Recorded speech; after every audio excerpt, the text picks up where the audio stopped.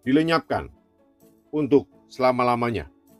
Obadya 1 ayat 6, 10, dan 15. Betapa kaum Esau digeledah. Betapa harta bendanya yang tersembunyi dicari-cari. Karena kekerasan terhadap saudaramu Yakub, maka celah akan meliputi engkau. Dan engkau akan dilenyapkan untuk selama-lamanya. Sebab telah dekat hari Tuhan menimpa segala bangsa. Seperti yang engkau lakukan, demikianlah akan dilakukan kepadamu, perbuatanmu akan kembali menimpa kepalamu sendiri. Telah menjadi kebiasaan orang Edom untuk menjarah, merampok, dan membunuh orang lain.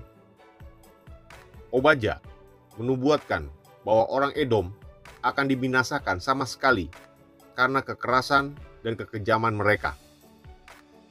Kini, mereka akan mengalami hal yang sama karena Tuhan mengirim bangsa lain untuk melawan mereka.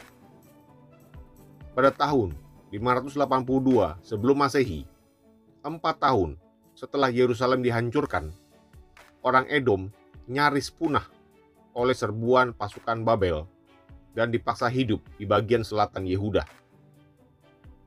Pada tahun 70 Masehi, setelah Yerusalem dibinasakan Roma, mereka tidak disebut-sebut lagi. Tuhan akan membalas Edom dan semua bangsa lainnya sesuai dengan perlakuan mereka terhadap orang lain.